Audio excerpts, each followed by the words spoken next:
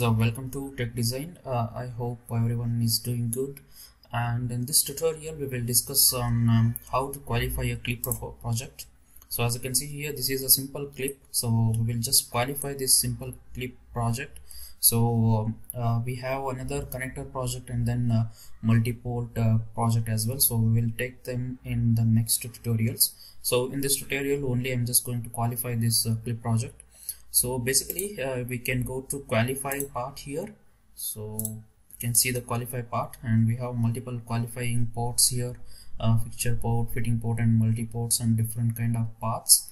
So we have already discussed how we can you know uh, create a ports in previous sessions. So if you have not checked please go to my electrical routing playlist and you can check all the so basic necessary knowledge so now what we can do is uh, we'll just go to qualify this and I'm going to create a one fitting port here. Uh, so I'm just going to right click on this and I'll click mm, new.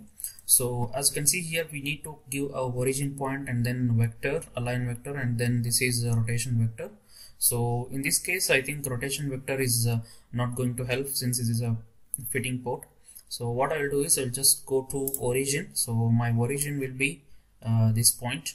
So I'm going to select that point. And then uh, we have an align vector. Align vector as you can see here it is visible over here on the top direction. So if you want to change it you can just change it. And now what I will do is I'll just give an uh, engagement as 5 mm and then extension. Uh, let us keep extension and cutback length as it is because since this is a fitting port so this will go and fit into another component. So it is not required. We need to have one uh, extension. So I'll just click OK.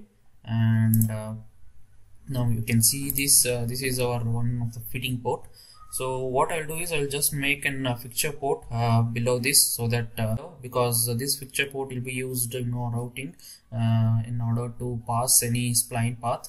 So we can use this uh, port. So I'll just go to qualify part and now I'll go to you can see the fitting port that we have created here.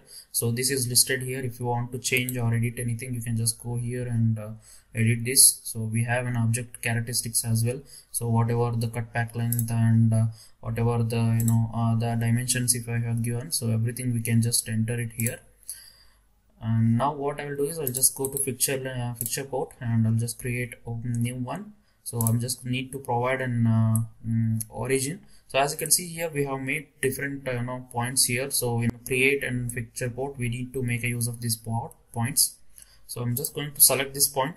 And we have one you know um, aligning vector. So aligning vector what I'll do is I'll just uh, okay this is my first point. And I'm going to give an align vector from point to point definition. So we, this is first point and this is the second point. So along this direction we have a fixture port so I don't need to give an uh, rotation vector for this since it is a fixture port.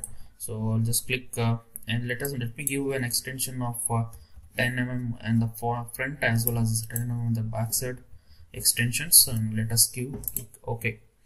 So you can see here fixture port which is uh, created uh, here and click ok so now you can see here we have an one fixture port here and one fitting port. So this will go into fit into any other component. And this fixture port will be used for uh, you know creating the plot path. So as you can see here i'm just taking the simple path here. So when I click a first point in this direction and my second point will be this port and then my third point will be here. So as you can see here we have uh, you know extension given into this port so that it is extended uh, mm, backward as well as the front. So this is how we can you know uh, qualify this uh, fitting and fixture port at a time. So hope you guys enjoy this uh, video. Please uh, stay tuned and subscribe to my channel and hit a like button as well as share my videos. Thank you guys